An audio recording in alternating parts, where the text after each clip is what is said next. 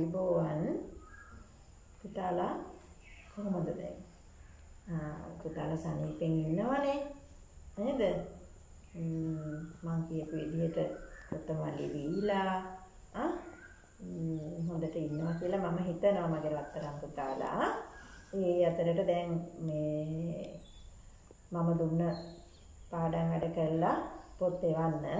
දැන් මේ එවපු ළමයි ඉන්නවා. දැන් මේ තියෙන වැඩ කරලා එවපු අය මේ වෙනුකගේ අලෝල එවලා තියෙන එක දවල් අහස. වෙනුක පුතා මේ මෙත් සිඳු. මෙත් සිඳු ලස්සනට අලෝලා තියෙන වලාකුළු ඉර සරුංගලය ඔක්කොම අලෝලා තියෙනවා අය. හොඳයි. මේ කවුද? සවෙත්. සවෙත් ඇඳලා එවලා තියෙනවා. මේ කරලා වෙලා තියෙන සඳරු මනෝජ්ජ. සඳරු මනෝජ්ජ දෙකක් කරලා වෙලා තියෙනවා. ඉතින් හොඳයි. ළමයි මෙහෙම වැඩ කරන්න ඕනේ.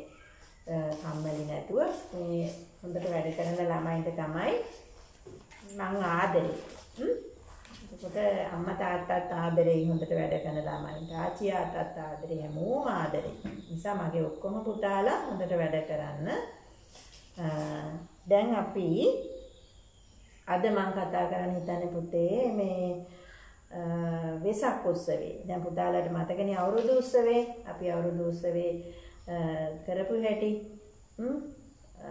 ලස්සනට කෑම ಜಾති හදලා ඇඳුම් අලුත් ඇඳුම් අරගෙන ලස්සන අවුරුදු උත්සවයක් කරානේ. ඉතින් ඒ වගේ දැන් වෙසක් උත්සවය අපි ගෙවල් වල ඉඳලා තමයි මේ සැරේ කොරෝනා ලෙඩේ නිසා වෙසක් උත්සවය සමරන්නේ. වෙසක් උත්සවය කියන්නේ මේ පින්තූරේ ඉන්නේ ඔව් අපේ බුදු සාදුව මතක් කරන එක තමයි අපි වෙසක් උත්සවයෙන් කරන්නේ. කවද? බුදු සාදු. බුදුහාමුදුරුවෝ. බුදුහාමුදුරුවෝ කියන්නේ කවුද? කොහෙද ඉන්නේ? ඕ පන්සලේ බුදුගේ ඇතුලේ හදලා තියෙන බුදුහාමුදුරන්ගේ පින්තූරයක්. ඔව්. නෑ පන්සලේ ඉන්නේ පුතේ හාමුදුරුවරු. පන්සලේ ඉන්නේ හාමුදුරුවරු. බුදුහාමුදුරුවෝ හිටියේ මීට ගොඩාරියක් ඉස්සර කාලේ. ගොඩාරියක් ගොඩක් ගොඩාරියක් ඉස්සර කාලේ තමයි අපේ බුදුහාමුදුරු හිටියේ. පන්සලේ ඉන්න හාමුදුරුවෝ පුතේ කරන්නේ අපිට ඒ බුදුහාමුදුරුවෝ කියලා දුන්න බණ කතා මේ ඒ හොඳ දේවල් කියලා දෙන එක. මෙහෙම ඉන්න මෙන්න මෙහෙමයි බුදුහාමුදුරුවෝ කියලා තියෙන්නේ කියලා අපිට කියලා දෙන එක තමයි අපේ පන්සලේ ඉන්න හාමුදුරුවරු කරන්නේ. එතකොට බුදුහාමුදුරුවන්ව හදලා තියෙනවා මෙන්න මේ වගේ තමයි බුදුහාමුදුරුවෝ කියලා බුදුගේ ඇතුලේ හදලා දෙනවා. අපි අපි හැමදාම බුදු මේ පාන තියලා බුදු සාදුට වඳින්නේ. ඒ බුදු පිළිම වහන්සේ කෙනෙක්නේ. එහෙමයි. එතකොට බුදුහාමුදුරුවෝ හිටියේ මීට ගොඩාක් ඉස්සර කාලේ. හොඳේ ඔන්න මතක තියාගන්න.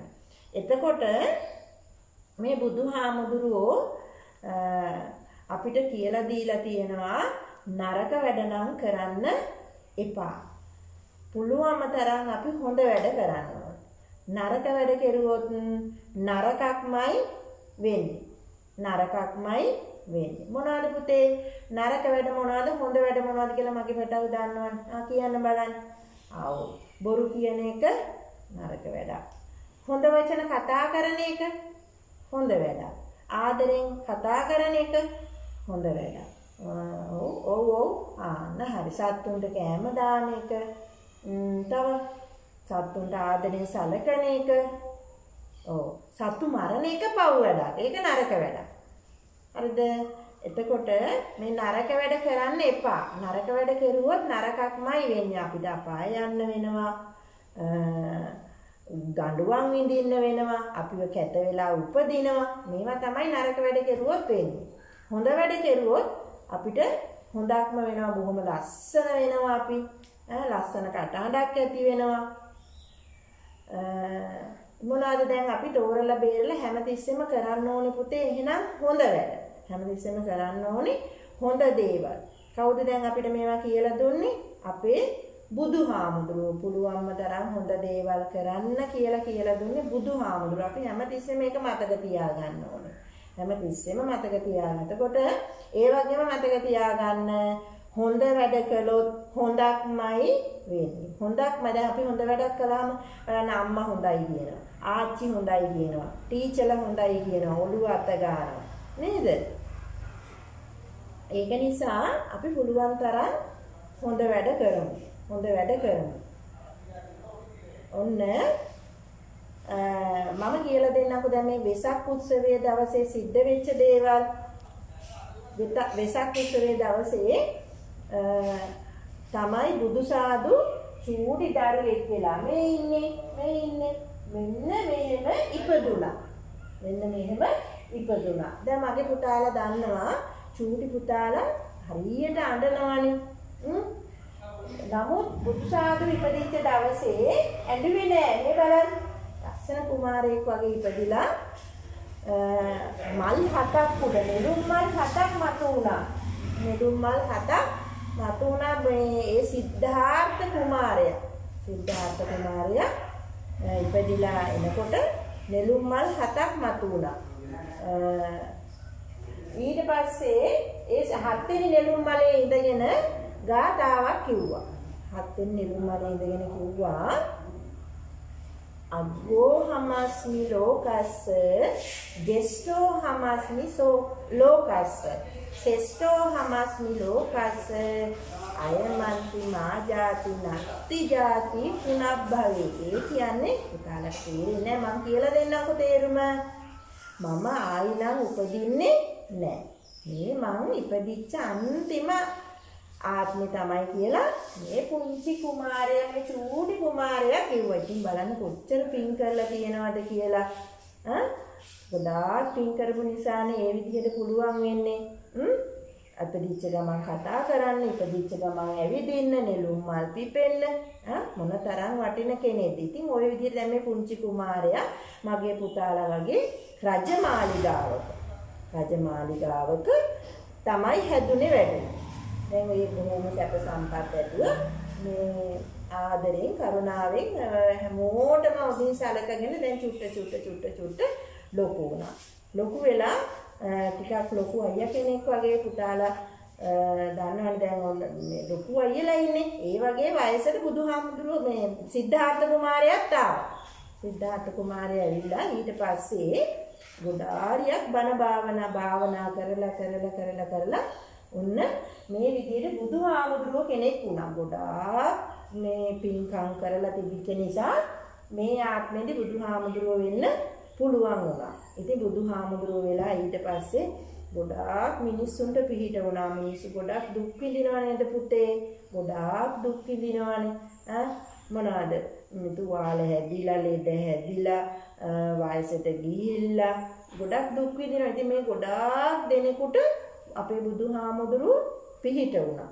ඒ පිහිට වෙලා පිහිට වෙලා ඉතින් එහෙම එහෙම ඉන්නකොට උන්වහන්සේ මේ විදිහටම වයසට ගියා. වයසට ගිහිල්ලා මේ තියෙන්නේ පිරිනිවන් පෑම.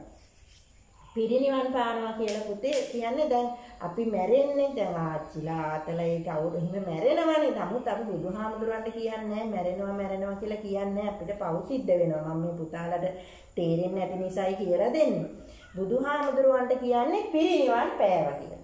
ඉතින් මේ පිරිනිවන් පෑම සිද්ධ වුණේ ඒ වගේම වෙසක් පොයේ දවසක. ඉතින් වෙසක් පොයේ දවසට තමයි මේ වෙසක් පොයේ දවසේ තමයි මේ දේවල් තුනම සිද්ධ වුණේ. සිද්ධාර්ථ කුමාරයා ඉපදුනා බුදු වුණා පිරිනිවන් පෑව බුදුහාමුදුරුවෝ පිරිනිවන් පෑවා. මෙන්න මේ තුන තමයි වෙසක් දවසේ සිද්ධ වුණේ. මගේ රත්තරන් පුතාලා මතක තියාගන්නකො වෙසක් දවසේ වෙච්ච දේවල්. එතකොට දැන් බුදුසාදු කියපුදි කියලා තියෙන දේවලුත් මම කිව්වනේ. හැමතිස්සෙම ඒක මතක තියාගන්න. කොයි දේ කරන්න ගියත් ඒක මතක තියාගන්න.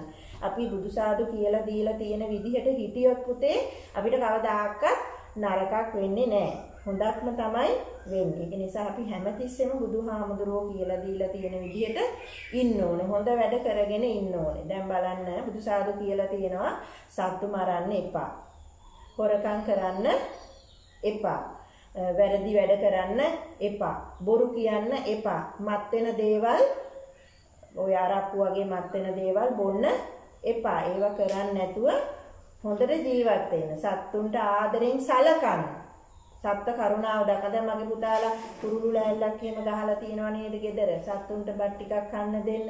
ඉතින් මගේ පුතාට පුරුදු වෙන්න පුළුවන් හැමදාම කෑම කන්න ඉස්සෙල්ලා ඒකෙන් ටිකක් අර ලෑල්ලට තියන්න. එහෙම නැත්නම් කෑම කාලා ඉවර වෙලා ටිකක් තියන්න.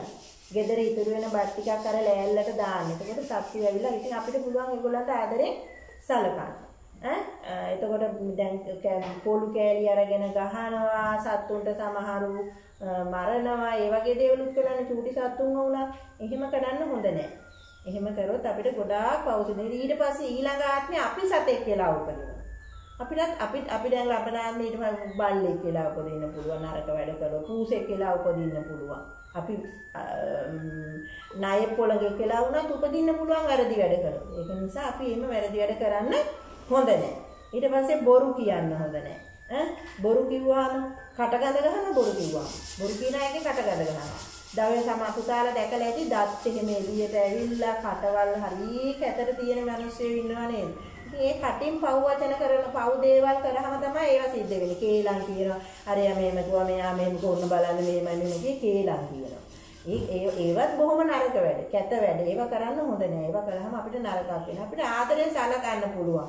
යාළුවෝ එක්ක එන්න මෙහෙම මේ බලන්න මේ කියලා කතා කියන්න, කවි කියන්න, හොඳ හොඳ දෙයක් කතා කරන්න හැමතිස්සෙම එන්න කටින් කරන්න පුළුවන් හොඳ දේවල් අපිට දෙන්න. දැන් මගේ පුතාලට දුක හිතෙනවා නේද? ඔයගලන්ට කවුරු හරි බැන්නාම ගොඩක් දුක හිතෙනවනේ. වයන්න කියලා බයින්නේ නෑ. එහෙම කිව්වහම හිතෙනව නේද ගොඩක් දුක හිතෙනව නේද? ඒක නිසා මගේ පුතාලා කවදක්වත් කාවක්වත් හිතන්න එපා. බනින්න එපා කාටවත්. ආදරෙන් සලකන්න. හැම තිස්සෙම hina වෙලා ඉන්න. ඈ එතකොට අපිට පින් සිද්ධ වෙනවා. එන්න මේ ඊට පස්සේ තව බුදු සාදු කියලා දෙනවා මත් වෙන දේවල් ගන්න එපා. ආ මේ ඊට ඊට ඉස්සෙල්ලා තියෙන හොරකම් කරන්න එපා. ඔව්. ඒක ඒක දෙවෙනි පදේට කියලා තියෙන හාමු මේ බුදුහාමුදුරුවෝ හොරකම් කරන්න එපා. හොරකම් කරාම මොකද වෙන්නේ? අනේ ඒක අයිති එක්කෙනාට දුක හිතෙනවා. ඉතින් එතකොට අපිට පව් සිද්ධ වෙනවා. ඊට පස්සේ පොලිසියෙන් ගුටි කන්න වෙනවා. අහු ඈ ඊට පස්සේ අපිට මේක දකින දකින අනේ මම මේක හොරකම් කරලානේ ගත්තේ මම මේක හොරකම් කරලානේ ගත්තේ. ඔන්න අපිට පව් සිද්ධ වෙනවා. ඔන්න අපිට අපි හිතන්න ඕනේ අපේ දෙයක් කවුරු හරි ගත්තොත් අපේ අපි ආදරෙන් තියාගෙන ඉන්න මගේ පුතාලගේ ටෙඩි බෙයා හරි බෝනික්ක හරි කවුරු හරි හොරකම් කරගෙන යනවා.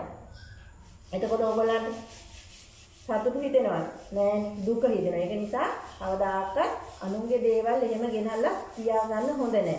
අපි දෙන්න දැනගන්න ඕනේ. දැන් මම පුතාලට කියලා දෙනවා බුදු සාදුට මේ මල් පූජා කරන්න ආවා. පුතේ පුතාලා මල් කඩාගෙන ඇවිල්ලා අනිත් අයට දෙන්න. ඉතින් අපිට අන්න පින් සිද්ධ වෙනවා. ගොඩාක් පින් සිද්ධ වෙනවා. මේ මල් ටිකක් හරි කමන්නේ ආ බෙදා ගන්නවා. දැන් අපි හිතමු දැන් ගෙදරට කවුරු හරි මොනවා හරි ගෙනාම තනියෙන් මේක බදාගෙනම කන්නේ නැතුව අපිට පුළුවන් බෙදා ගන්න. අම්මටත් දෙනවා, තාත්තටත් දෙනවා, අක්කටත් දෙනවා, අයියටත් දෙනවා. තව කවුරු හරි ගෙදර හිටියනම් එයාටත් දෙනවා. අන්න එහෙමයි බෙදාගෙන කනවා කියන්නේ. එහෙම පුළුවන්. එතකොට දැන් පුතාලා දන්නේ නැති අම්මලා තාත්තලාත් එක්ක ගිහිල්ලා ඕගොල්ලෝ දාන දෙන්න යනවා. නේද? වැඩි හිටි නිවාස වලට දෙනවා, අපි පන්සලට දෙනවා. එතකොට ඒ තව කාට හරි දෙයක් දුන්නාම ඒගොල්ලෝ සතුටු වෙනවා. අන්න අපිට පිනස් සිද්ධ වෙනවා. අන්න පිනස් සිද්ධ වෙනවා.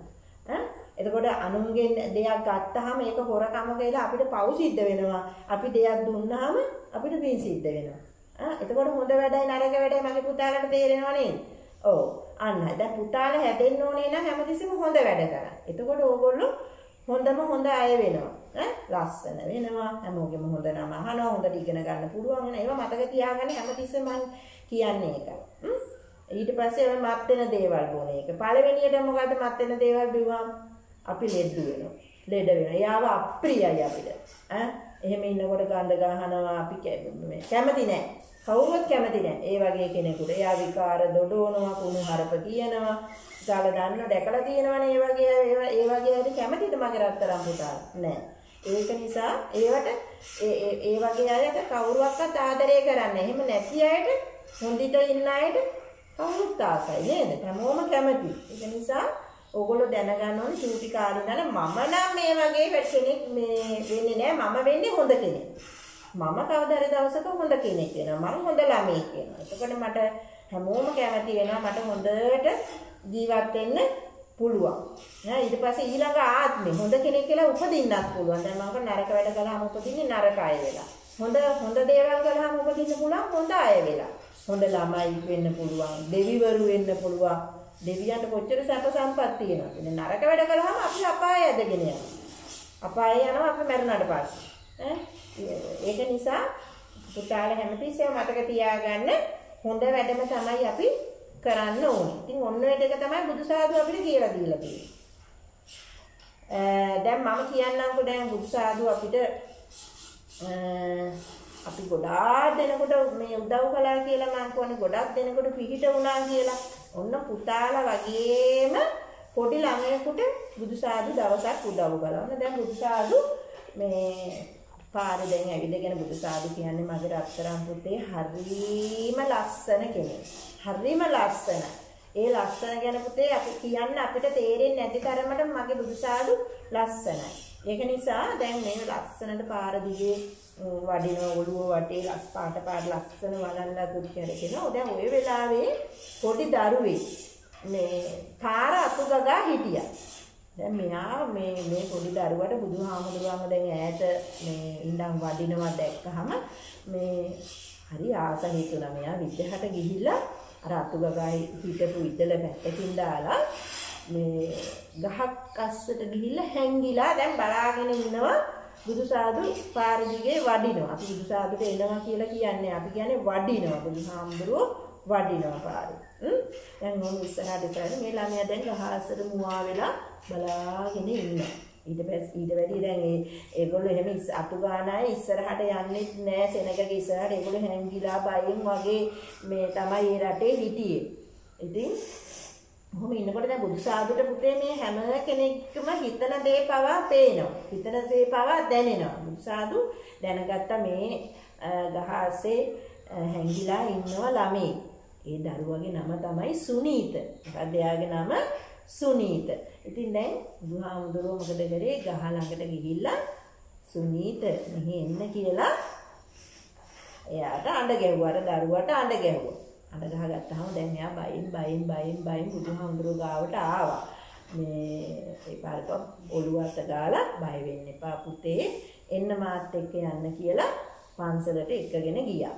එකගෙන ගිහිල්ලා බොහොම මේ රසවත් දේවල් දානෙට හම්බෙච්ච පළතුරු එහෙම තියෙනවානේ. ඉතින් ඒවා කන්න දීලා හොඳට ඇඟපත සෝදලා ඒවට කන්න දීලා ඉවර වෙලා මේ ඊට පස්සේ මේ සුනීත ඇහුවගෙන් ඇහුවා ඉතින් පුතා කොහොමද කාගේද අම්මා තාත්තා කවුද විස්තර කතා කර කර ඉඳලා ඉතින් ආයෙ ඔක්කොම විස්තර කියලා කිව්වා සුනීත කිව්වා අනේ බුදුහාමුදුරනේ මටත් හරි ආසයි මහාන වෙන්න කියලා. පුංචි හාමුදුරු කෙනෙක් වෙන්න මට හරි ආසයි කියලා සුනීත කිව්වා. ඉතින් බුදුහාමුදුරුවෝ කිව්වා ඉතින් මහාන වෙමුකෝ. අපි අම්මගෙන් තාත්තගෙන් අහලා මහාන කරගන්නම් කියලා ඔන්න එයාවත් හා පුංචි හාමුදුරු කෙනෙක් කරගත්තා. ඉතින් එදා ඉඳන් සුනීත හාමුදුරුවෝ කියලා තමයි හැමෝම කතා කළේ මේ කුණ්ඩේ ගාලා ලස්සන සිවුරු පොඩ්ඩක් ඇඳලා. ඉතින් ඊට පස්සේ ඒ ඒ මේ හාමුදුරුවෝ හොඳට බණ භාවනා කරලා ලොකු හාමුදුරු කෙනෙක් වුණා ඊට පස්සේ. ඔව්. රහත් තත්ත්වයට පත් වුණා. මං කියලා දෙන්නම්කො පස්සේ පුතාලට මොකද්ද කියලා රහත් වෙනවා කියලා කියන්නේ ටික ටික අපි ටිකක් ලොකු වෙන්න ඕනේව දැනගන්න. ඈ ඊට පස්සේ තව ගොඩාක් දෙනෙකුට බුදුහාමුදුරුවෝ පිළිහිට වෙලා තිනවා. තව ඔන්න හිටියා අක්කා කෙනෙක්. ඒ අක්කා එයාගේ නම මාලා කියලා. හොඳේ. එන්න දැන් මේ අක්කා ගෙදර ඉන්නවා එයාගේ අම්මා නැහැ. අම්මා මැරිලා. ඉතින් දැන් මෙයා ඔහොම ඉන්නකොට එයාට හරියට ඒ ගෙදර ඉන්න නැන්ද ගහනවා. ඊට ගහනවා. එයාගේ කොණ්ඩේ දිගට තිබුණා. ඉතින් එයාගේ මේ දරුවට අර නැන්ද ගහන්නේ කොණ්ඩෙන් ඇද්දගෙන තමයි ගහනවා කියන්නේ. ඉතින් දැන් මෙයාට මේක ඉවසන්න බෑ කොණ්ඩෙන් අදිනකොට හරියට සිදෙනවනේ. ඉතින් මේ ළමයා මොකද කළේ දවසක් මේම කොණ්ඩේ කපා ගත්තා. කොණ්ඩේ කපලා අයින් කරලා ගන්න. කොණ්ඩේ කපලා අයින් කළා මේ නපුරු නැන්ද මොකද කරේ? දාගත්ත බෙල්ලට මේ අරයාගේ ළමයාගේ මේ ලණුව. ලණුව දාලා දැන් ලණුවෙන් ඇදගෙන තමයි මේ ගහන්නේ. ලණුව ලණුවට මේ pāli භාෂාවේ කියන්නේ රජ්ජු. රජ්ජු. ඊට පස්සේ මේ ළමයාට හැමෝම කියන්න ගත්ත අර බෙල්ලේ ලණුවක් දාගෙන ඉන්න මාලා කියන එකට රජ්ජු මාලා රජ්ජු මාලා කියලා කියන්න ගත්තා. මේ දැන් මේ ළමයාට වැඩ කරන්නත් ඕනේ. කොච්චරම වැඩ කරත් හොඳක් කියන්නෙත් නෑ මිදුලතු ගෑවත් මේ කරලා තියෙන වැරදි කියලා ගහනවා. ගේ අතු ගෑවත් ගහනවා. වතුර අදින්නත් ඕනේ. උයන්න ඒව වැඩ කරන්නත් මේ පොඩි මේ වැඩි ලොකු එකනේ නෙමෙයි යා. ඉතින් මේ මෙයාට ඉවස ගන්න බැරුව දවසක් මෙයා ගියා වතුර ගේන්න ගිය ගමන් මේ මම මොකක් හරි කරගන්නවා මට බැන්නේ ඇති ජීවත් වෙලා ඉන්නවා කියලා ඔන්න කැලේ ගිහිල්ලා ඉන්නකොට මේ ඔන්න මේක දිවසින් දැක්කා බුදුහාමුදුරුවෝ. හ්ම්? දැකලා ඉවරලා බුදුහාමුදුරුවෝ එතෙන්ට වැඩියා. ඒ පාර ඒ ළමයාට බොහොම ආදෙන් දුවේ. මොකද ඔයා වහම කරන්නේ? එන්න මාත් එක්ක පන්සලට යන්න කියලා. අනේ ඒ ළමයාවත් පන්සලට එක්කගෙන ගියා. ඊට පස්සේ එයත් මේනින් වහන්සේ කෙනෙක් වුණා. ඉතින් ඌ වගේ අපේ බුදු සාදු හරියට ළමයින්ට පිළිට වෙලා තියෙනවා මිනිස්සුන්ට පිළිට වෙලා තියෙනවා. හැම කෙනෙකුටම පිළිට වෙලා තියෙන ඉතාම උතුම් කෙනෙක් තමයි. ඉතින් මගේ රත්තරන් පුතාලටත් මම කියලා තියෙනවා දැන් නිදා ගන්න යනකොට මතක් කරගන්න කියලා. මට බුදු සරණයි මගේ අම්මට බුදු සරණයි මගේ තාත්තට බුදු සරණයි සියලු දෙනාටම බුදු සරණයි. එහෙම නේද නිදාගන්නේ? ඔව් මගේ රත්තරන් පුතේ එහෙම කරන්න. එතකොට මගේ පුතාලට කවදාකවත් වරදින්නේ මගේ පුතාලටත් හොඳක්මයි වෙන්නේ බුදුහාමුදුරන්ව මතක් කළත් අපිට හොඳක් සිද්ධ වෙනවා අත් දෙක එකතු කරලා වැන්දාම ගොඩාක් පින් සිද්ධ වෙනවා බුදුහාමුදුරන්ට පූජා කරන දානයකට අත් දෙක එකතු කරලා මේ වැන්දත් අනේ සාදු කියලා අපිට ගොඩක් පින් සිද්ධ වෙනවා. ඉතින් ඒව අපි කරන්න ඕනේ. එතකොට අපිට පුළුවන් මේ කරදර වලින් මිදලා හොඳ අය වගේ ජීවත් වෙන්න. හරිද? ආ මගේ රත්තරන් පුතාලට මම තවත් කතා කියලා දෙනවා. වෙසක් එකට හදන්නත් ගොඩක් දේවල් තියෙනවා. ඔව්. මේ පුතාලට මම ඒවත් කියලා දෙනවා. අදට ආයුබෝවන්.